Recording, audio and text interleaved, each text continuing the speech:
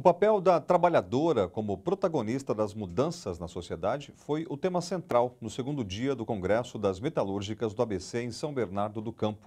E para fortalecer esse debate, a empresária Luísa Trajano, presidente da rede de varejo Magazine Luiza, fez uma palestra sobre empreendedorismo e liderança feminina. Diretora de uma das maiores redes varejistas do Brasil, Luísa Trajano administra 784 lojas no país. É uma das principais empregadoras, com cerca de 24 mil funcionários. Coragem, criatividade e liderança fizeram de Luísa Trajano uma referência de empreendedorismo. E foram esses valores que ela destacou na palestras metalúrgicas. Acredite na força de vocês. Acredite na força do trabalho. E acredite que vocês podem ir mais longe do que vocês acham que pode chegar. Dê o melhor de vocês a todo momento. Cerca de 500 pessoas participaram da palestra de Luísa Trajano, que enfatizou o crescimento econômico do país e a responsabilidade das trabalhadoras nesse processo. Que bom eu poder falar também com as mulheres metalúrgicas, essas mulheres que estão fazendo o Brasil hoje. Porque é a operária que faz o Brasil hoje, né? a mulher operária.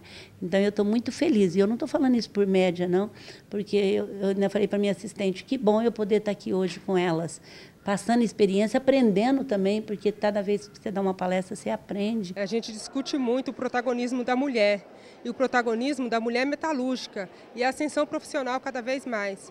E a Luísa, ela tem uma história de vida.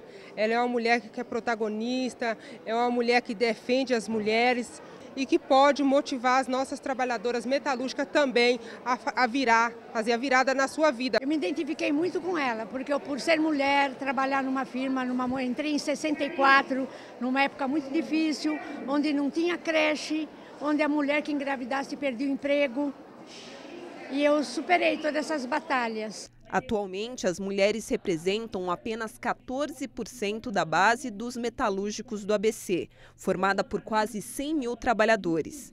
Aumentar o protagonismo e a liderança feminina no sindicato são os principais desafios da categoria. As atividades que a gente vem realizando já está motivando e as mulheres estão sentindo confiança no sindicato, está sabendo que com a participação a gente consegue conquistar só, e por isso elas estão participando mais.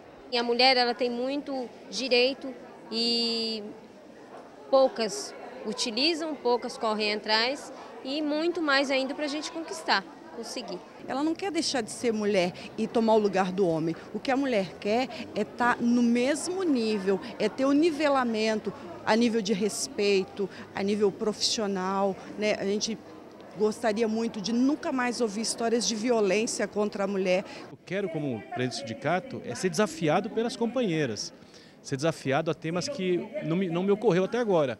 Mas é isso que a gente espera do Congresso, Congresso novo, de coisas novas.